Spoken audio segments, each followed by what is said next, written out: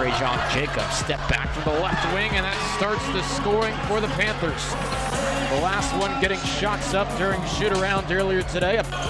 Michael Douglas from the perimeter. His first start of the season, and he drains his first shot of the night.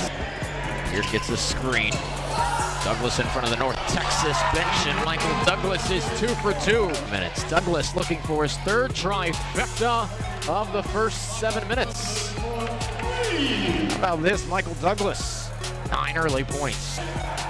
His first triple, Trajan Jacob racing out in transition the other way. Quick two points for FIU. Loves to operate there, bounces it in. Osaghae takes a step, and that's the intended result. Beard to Osaghae, 99.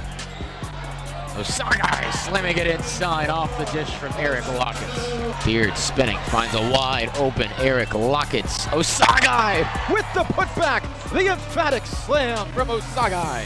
22-12 FIU. He looks like a completely different player from anything we've seen this season.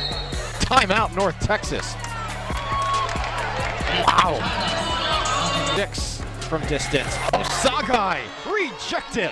Surveying the court. Beard across the middle of the lane, hanging in midair, and he gets on the scoreboard. 11 point lead for the Panthers as Douglas sends this the other way.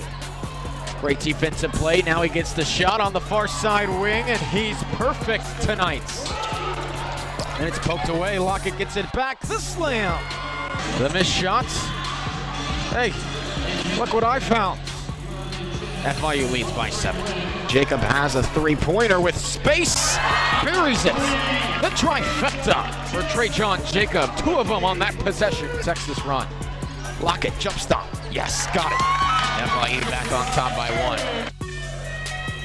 First free throw up, and he got it. Two seconds to go. Woolridge driving to the basket at the buzzer and out. FIU has won. The Panthers survive at home.